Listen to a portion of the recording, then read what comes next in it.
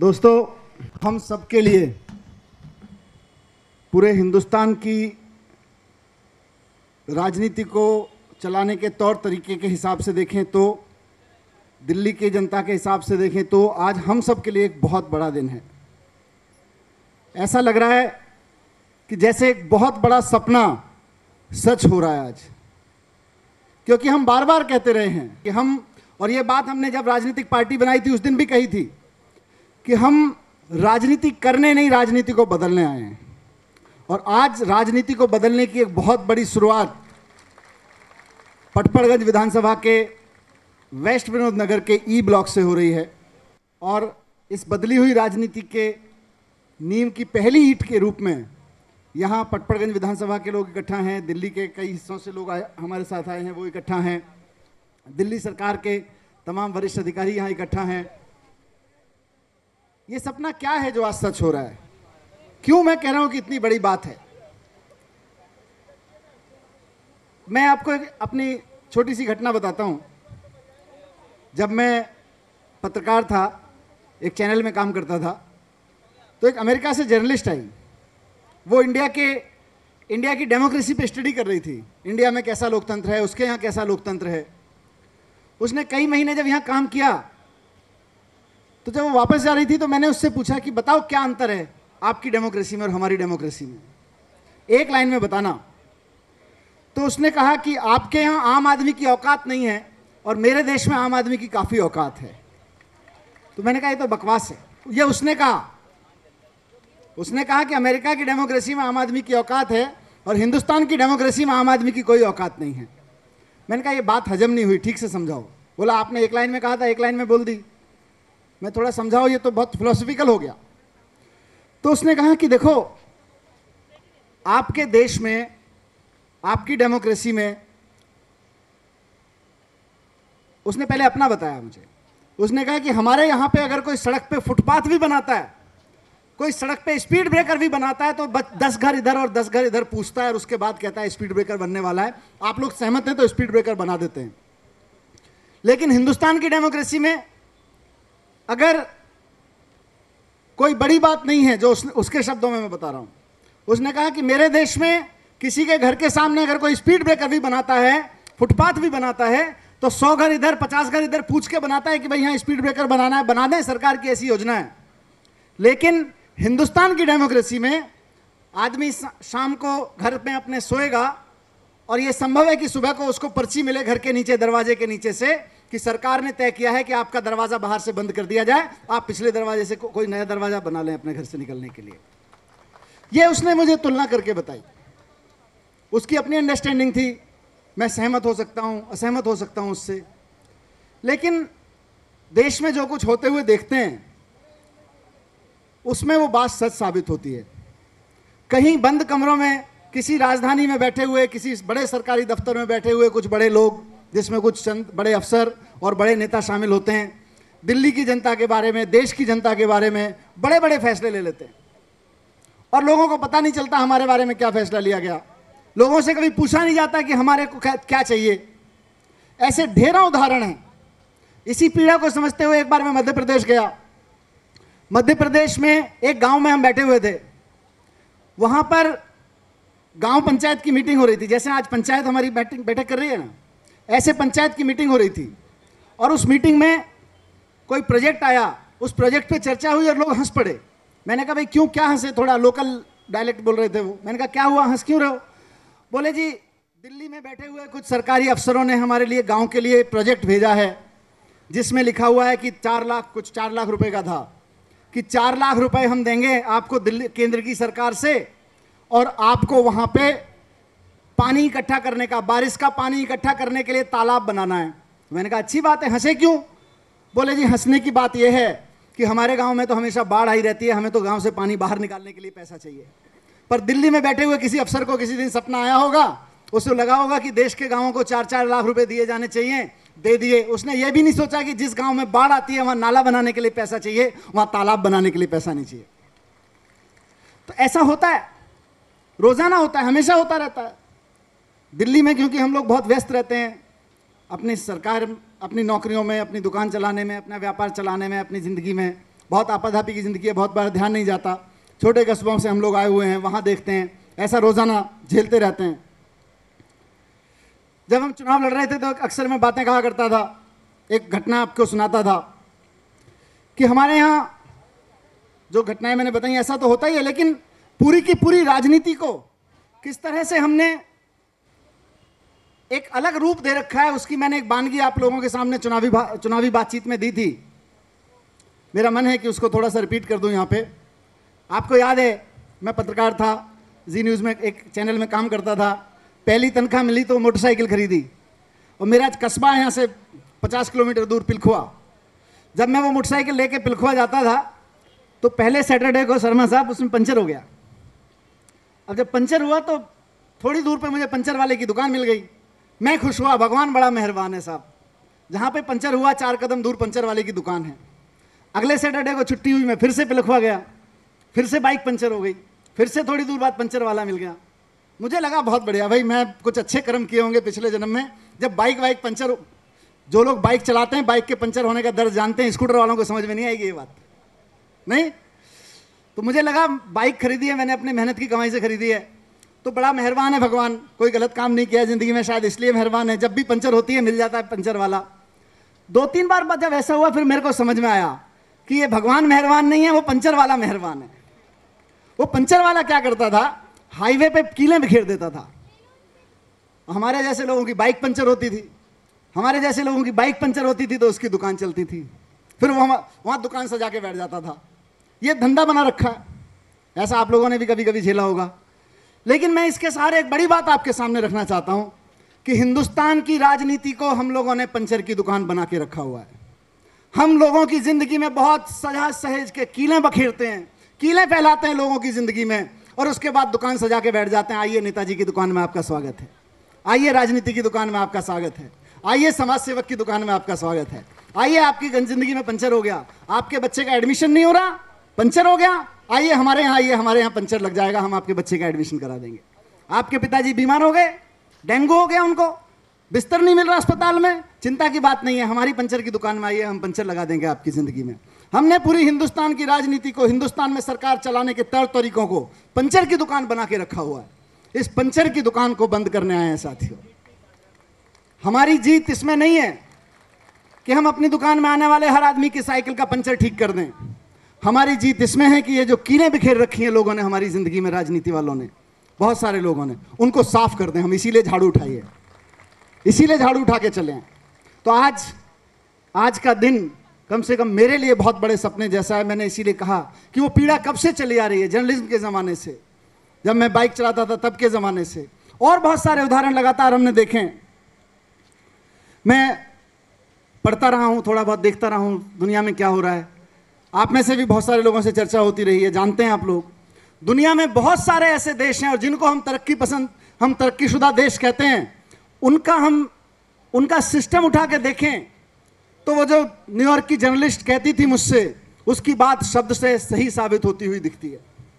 लगता है कि दुनिया के जिन देशों को हम तरक्की शुदा देश कहते हैं, हम जिनकी तरक्की से के सहारे सोच के कहते हैं कि हम अपनी दिल्ली को फलाने मुल्क जैसा बनाना चाहते हैं हम फलाने शहर जैसा बनाना चाहते हैं। अरे, वहाँ के सिस्टम ऑफ़ गवर्नेंस को देखिए, वहाँ के सिस्टम ऑफ़ गवर्नेंस को बना दीजिए। लोग अपने आप मेहनत करके अपने आप इस दिल्ली को संघाई बना देंगे, सिंगापुर बना देंगे। गवर्नेंस को ठीक करने की ज़रूरत है। गवर्नेंस में क्या है? वहाँ पे कोई भी बात होती है, लोगों से पूछा जाता है बहुत जगह। मैं कैप, दक्षिण अफ्रीका के शहर कैपटाउन में गया। जिस घर में मैं रुका हुआ था, उस घर की मालकिन मुझे बता रही थी कि मेरे शहर में एक छोटी सी ज़मीन है, उसके मोहल्ले में कहीं थी। वो छोटी सी ज़मीन वहाँ की सरकार किसी बड़े व्यापारी को देने का मन बना रही है। ऐसा उसने मुझे स्टोरी बताई। लेकिन साथ साथ उस महिला का कॉन्फिडेंस देखिए अपने सिस्टम के प्रति। उसने कहा, मनीष जी, उसने अंग्रेज़ी में बोला कि government is doing this but I won't let it happen next Wednesday meeting I go to town hall meeting and I get it stopped अगले बुधवार को मैं जाके वहाँ रुकवा दूँगी उसको। कोई ज़मीन किसी सरकार का विभाग, किसी बड़े व्यापारी को बेईमानी के तहत या अपने मानसिकता के तहत दे रहा है और कहीं किसी कोने में बैठी एक महिला कह रही है कि मैं ये होने नहीं दूँगी, बुधवार को मीटिंग में जाऊँगी और बंद करा दूँगी उसको, होने नहीं दूँगी। ये कॉन्फिडेंस क्या हमारे शहर में लोगों में आ सकता है? आज हम उसकी शुरुआत कर रहे हैं। आज सुबह ई ब्लॉक के लोगों ने सोचा तो ज़रूर होगा कि ई ब्लॉक में जो कुछ हो रहा है E block west Vinod Nagar में जो कुछ हो रहा है, आज हम अपनी बैठक में जाएँगे और इसके खिलाफ आवाज़ उठाएँगे। आज हम बताएँगे कि ये सड़क कैसे टूटी हुई है। आज ही ब्लॉक के लोगों ने सोचा होगा। और नहीं सोचा होगा तो मैं बताता हूँ कि ये मीटिंग इसीलिए है कि आप अपने घर में बैठ के सोच सकें कि हमारे मोहल्ले में, हमारी गली में जो काम में बेईमानी हो रही है या लापरवाही हो रही है, इसको मैं होने नहीं दूँगा। मैं मीटिंग में जाऊँगा और वहाँ आदेश पारित करूँगा कि इसको नहीं होने दिया जाए। यहाँ लाना चाहते हैं इस डेमोक्रेसी को। और आएगा। उसकी आज से शुरुआत हो रही है। दुनिया में जो कुछ अच्छा हो रहा है, उससे हमें सीखना है। मैं कॉपी पेस्ट के हमेशा खिलाफ रहा हूँ। दुनिया में कहीं कुछ अच्छा हो रहा है अमेरिका में कुछ अच्छा हो रहा है यूरोप में कुछ अच्छा हो रहा है जापान में कुछ अच्छा हो रहा है उससे सीखना है उसको कॉपी पेस्ट नहीं करना है। हमने कॉपी पेस्ट कर करके बहुत दु, दुख दिया है लोगों को। कॉपी पेस्ट नहीं करना है। सिंपल कॉपी करके यहाँ लागू नहीं करना है। हमें दिल्ली के हिसाब से दिल्ली के मामलों में समझ के करना है। इसीलिए हम आज हम पहला प्रयोग यहाँ पे कर रहे हैं ये बजट बनाने का और इससे सीखेंगे। आज का बजट आज का पहला प्रयोग तो मुझे लगता है हम सबके लिए अधिकारियों के लिए सीखने का दिन है। आज से हम सीखेंगे और अगले हफ़्ते से इसको लागू करेंगे कि दिल्ली की ग्यारह विधानसभाओं में कैसे इसको लागू किया जाए। इंडिया में मैं आपको बात करूँ, मैंने कहा, क्योंकि पत्रकारों के साथ प्रॉब्लम यह है कि ये कॉपी पेस्ट बहुत करते हैं। ये बोलेंगे, मनीष सिसोदिया ने कहा, हम अमेरिका का मॉडल लागू करेंगे। तो मैं आपकी सूचना के लिए और पत्रकारों को सही करने के लिए बता दूँ कि हिंदुस्तान में भी ऐसे ढेरों एग्ज़ाम्पल भरे पड़े हैं। आप कभी गूगल करके देखिए, एक वीडियो बनाया था मैंने, हिवरे बाज़ार गाँव पे। हिवरे बाज़ार गाँव में यही होता था जो हम आज कर रहे हैं। उस गाँव के सरपंच ने गाँव की पंचायत में आने वाले बजट के बारे में एक ही ऐलान किया कि भैया देखो, इतना पैसा आता है, गाँव के लोग मिल बैठ के तय कर लेंगे, पहले क्या करना है, बाद में क्या करना है। आज वो गाँव ऐसा लगता है जैसे किसी फ़िल्म के सेट जैसा खूबसूरत गाँव होता है, ऐसा सुंदर गाँव हो गया है वो।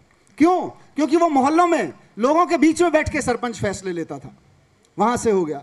बहुत सारे गाँव के उदाहरण पड़े, शहरों के अलग अलग कोनों के उदाहरण पड़े, लेकिन प्रॉब्लम यह है कि ये कोनों में और गाँव में पड़े हुए हैं। इनको अगर हमको देश भर में लागू करना है तो मैं ऐसा सपना देखता था कि क्या कभी कोई सरकार ऐसी आएगी जो इसको लागू कर सकेगी, जो अपनी विल पावर के साथ इसको लागू कर सकेगी। राजनीति में आने के पहले हमने और अरविंद भाई ने बहुत सत्ता के दरवाजे खटखटाए। बहुत सारे सचिवों के पास गए, कई राज्यों में वहाँ के नगर विकास सचिवों के पास गए, वहाँ के नगर विकास मंत्रियों के पास गए, वहाँ के मुख्यमंत्रियों के पास गए। हमने कहा कि देखो ये जो आप ढोल बजा रहे हो लोगों की समस्याएँ दूर करने के लोगों की समस्याएँ दूर करनी है तो लोगों के साथ बैठना सीखो। लोगों के साथ बैठ के चर्चा करना शुरू करो। वहाँ से समस्याओं का समाधान निकलेगा, लेकिन कोई सुनने को तैयार नहीं था। इसलिए शायद प्रकृति ने कुछ ऐसा चक्र चला कि हम लोग कभी सोचते नहीं थे कि राजनीति में आएँगे, सरकार में आएँगे राजनीति में भी आए, सरकार में भी आए, सरकार में मंत्री भी बने, और आज आके हम इस व्यवस्था को उस तरफ़ ले जाने की एक शुरुआत कर रहे हैं। और मुझे पूरी उम्मीद है कि यहाँ से ये ऐसी राजनीति के बदलने का, देश के सिस्टम को चलाने का एक ऐसा सबक हम लोग लेके निकलेंगे कि आने वाले समय में हर हिंदुस्तानी हिंदुस्तानी होने पे फख्र कर सकेगा। हिंदुस्तानी होने का कॉन्फिडेंस महसूस कर सकेगा कि मैं हिंदुस्तानी हूँ, अपने देश के लिए, अपने शहर के लिए, अपने सिस्टम के लिए मेरी कोई औकात है। ऐसा मैं उम्मीद करता हूँ कि इसकी शुरुआत हो रही है। ये मोहल्ला सभा, ये शब्द है, मोहल्ला सभा कह लीजिए, लोकल सभा कह लीजिए, एरिया की सभा कह लीजिए, हम हैं। हम लोग हैं, हम आपस में बैठ के चर्चा करना चाहते हैं। इसके प्रयोग हमने दिल्ली में भी कुछ किए थे। दो छोटे छोटी बातें मैं इसकी बताना चाहता हूँ ताकि आज के बारे में लोगों को आइडिया लग सके। पहले हमने अरविंद भाई ने कुछ प्रयोग दिल्ली में किए थे। कपिल भाई बैठे हैं यहाँ पे। कपिल की माता जी पार्षद थी, रही हैं।